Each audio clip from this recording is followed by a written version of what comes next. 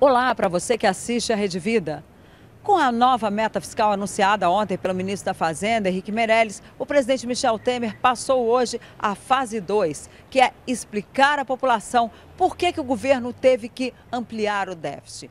O que, que Michel Temer vai frisar nesses primeiros dias? Primeiro, ele vai dizer que ele fala a verdade, enquanto a ex-presidente Dilma Rousseff mentia à população. Para isso, o presidente vai mostrar que quando ele assumiu, dizia-se que o déficit era de 100 bilhões de reais, mas a sua administração fez as contas e descobriu que o déficit deixado pela presidente Dilma Rousseff era de 179 bilhões de reais. É isso que Michel Temer não quer repetir. Ele quer que a administração dele seja marcada pelas reformas e também pela transparência em relação aos gastos públicos. Aliás, é isso que ele tem dito aos congressistas ao longo das últimas conversas aqui nesses dias aqui no Palácio do Planalto. A ideia é deixar muito claro que o governo tem sido responsável no que se refere ao gasto público.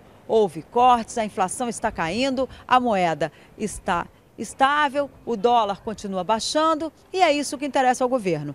Só falta, na avaliação aqui dos principais assessores do presidente, do próprio presidente Michel Temer, é a chegada da famosa reforma da Previdência. Mas esse é outro capítulo que nós vamos conversar com você ao longo dos próximos dias aqui na Rede Vida de Televisão. Denise Rotenburg, de Brasília, para o Jornal da Vida.